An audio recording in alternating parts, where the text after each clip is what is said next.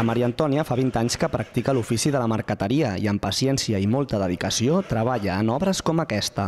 Pues estic fent un paisatge amb un castell que en ve de pintura eh, uso fusta. O sigui, les fustes de diferents colors. És, la, és el meu hobby. Ho fa a la Vila de Gràcia, concretament al taller de la família Ordóñez, on des del 1952 mimen la fusta per elaborar tot tipus d'obres decoratives. El 1995 el taller es va convertir en escola i es va fundar l'Associació Barcelona Marqueteria, única en tot l'estat i on cada setmana alumnes i associats treballen per crear les seves obres d'art. Estic fent unes ermites, una col·lecció d'ermites d'Andorra.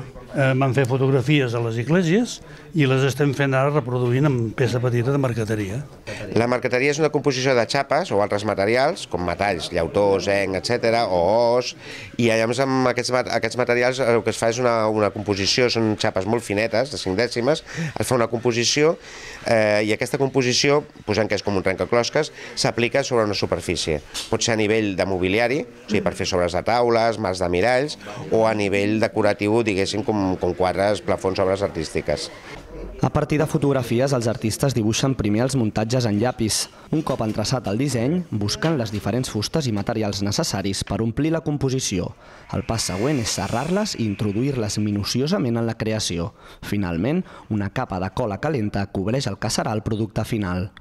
El resultat de la tasca que es fa en aquest taller es pot veure en espais com l'entrada del Saló de Cent o el terra de la Casa Lleó i Morera, fet amb peces com aquesta.